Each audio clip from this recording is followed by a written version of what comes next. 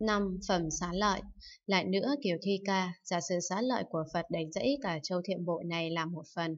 Có người biên chép pháp môn bát nhã và làm mật đa thâm diệu làm một phần. Thì trong hai phần ấy, ông nhận phần nào? Trời đế thích thưa, Bạch Thế Tôn, ý của con thả nhận bát nhã và làm mật đa thâm diệu. Vì sao? Vì chẳng phải con không tin nhận cung kính cúng dường xá lợi của chư Phật, nhưng thân của chư Phật và xá lợi đều là nhân nơi pháp môn bát nhã bà la mật đa thầm diệu mà sanh ra đều do công đức uy lực đã huân tu pháp môn bát nhã bà la mật đa thầm diệu nên mới được tất cả thế gian trời người a tố lạc vân vân cung kính cúng dường. Kính bạch Thế Tôn như con ngồi trên tòa thiên đế trong điện thiện pháp ở cõi trời 33 thì tuyên thuyết chánh pháp cho các trời, có vô lượng các thiên tử vân vân đi đến chỗ con nghe thuyết pháp cung kính cúng dường nhũ quanh bên phải rồi đi, khi con không có ở trên pháp tòa kia, nhưng các thiên tử vân vân đi đến chỗ đó, mặc dù không thấy con nhưng họ vẫn cung kính cúng dường, như khi con đang ở tại đó, họ nói, chỗ này là tòa của trời đế thích ngồi thuyết pháp cho chư thiên vân vân. Chúng ta nên cúng dường cung kính xem như thiên chủ hiện đang ở đó. Rồi nhiễu quanh bên phải lui ra. Xá lợi của Phật cũng như vậy, bát nhã bà la mật đa thâm diệu làm cho sự nương tựa phát sanh trí nhất thiết trí nên được tất cả thế gian trời người a tố lạc vân vân cung kính cúng dường. Thế nên con nói, trong hai phần ý của con, thả nhận bát nhã bà la mật đa thâm diệu, Kính bạch Thế Tôn, giả sử xá lợi của Phật, đầy dẫy cả thế giới tam thiên đại thiên là một phần, có người biên chép pháp môn bát nhã bà la mật đa thâm diệu là một phần, thì trong hai phần ấy, ý của con thà nhận bát nhã bà la mật đa thâm diệu vì sao? Vì chẳng phải con không tín thọ, cung kính, cúng dường xá lợi của Phật, nhưng thân và xá lợi của chư Phật đều là nhân nơi phát môn bát nhã bà làm mật đa thâm diệu mà sanh ra vậy, đều do công đức uy lực đã huân tu của pháp môn bát nhã bà làm mật đa thâm diệu, nên mới được tất cả thế gian trời người a tố lạc vân vân cung kính cúng dường. Kính bạch Thế Tôn, như người mắc nợ, sợ hãi, chủ nợ, liền gần gũi hầu hạ quốc vương, nương dựa thế lực của vua, khỏi sợ hãi, trái lại còn được chủ nợ sợ hãi cúng dường. Vì sao? Vì người kia nương cậy vào thế lực của vua, được vua che chở nên có nhiều uy thế vậy. Vua dụ cho bát nhã bà làm mật đa xá lợi của Phật dụ cho kẻ nương vua.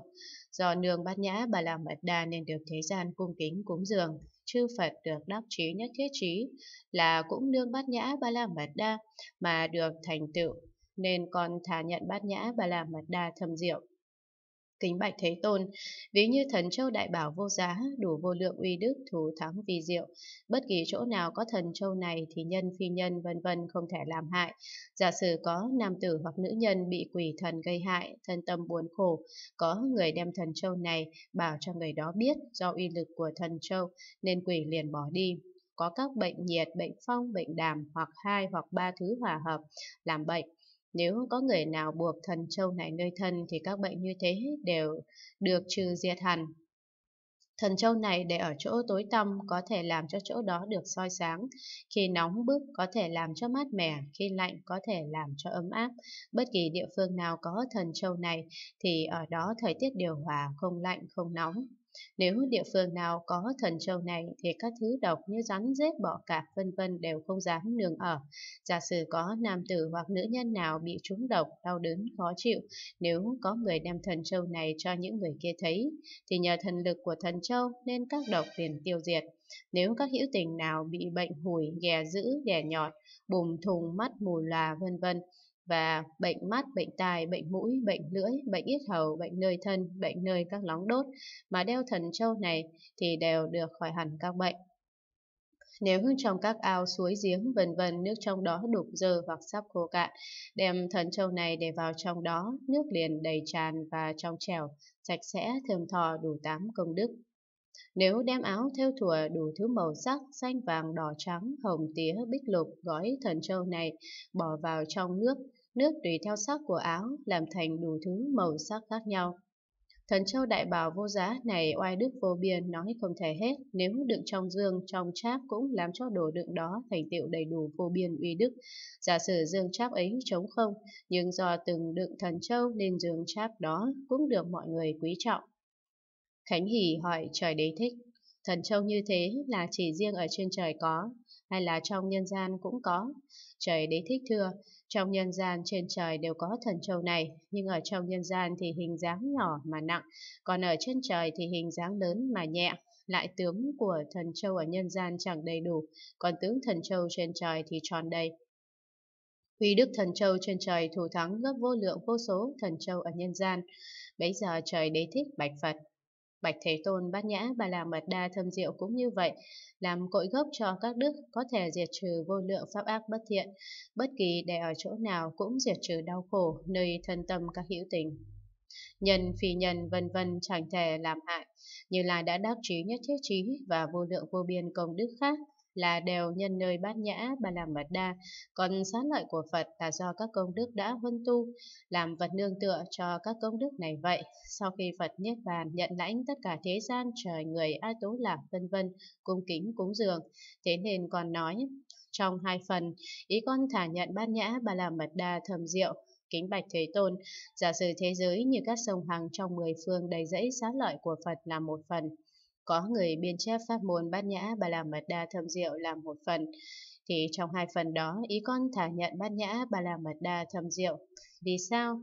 Vì chẳng phải con không tin nhận cung kính cúng dường xá lợi của Phật, nhưng thần và xá lợi của chư Phật đều nhân nơi pháp môn bát nhã bà la mật đa thâm diệu mà sanh ra vậy, đều nhờ công đức uy lực đã huân tu pháp môn bát nhã bà la mật đa nên mới được tất cả thế gian, thiên nhân, A Tố Lạc vân vân cung kính cúng dường. Lại nữa, kính bạch Thế Tôn, bát nhã bà la mật đa thơm diệu có thể sanh trí nhất thiết trí của Như Lai.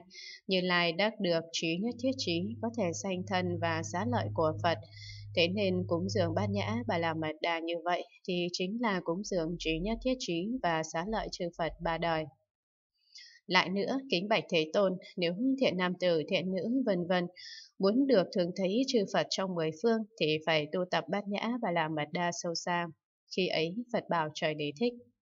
Đúng như vậy, đúng như vậy, như lời ông nói, kiều thi ca, chư Phật quá khứ, vị lai hiện tại đều nương bát nhã và làm mật đa mà chứng đắc quả vị vô thượng chánh đẳng bồ đề, thế nên như lai cung kính, cúng dường, trời đều thích thưa. Bát nhã bà la mật đa như thế là đại vô thượng bà la mật đa. Tất cả như lai đều nương bát nhã bà la mật đa mà biết được tâm hành sai khác của các hữu tình. Phật bảo trời đế thích. Đúng như vậy, đúng như vậy, như lời ông nói, kiểu thi ca.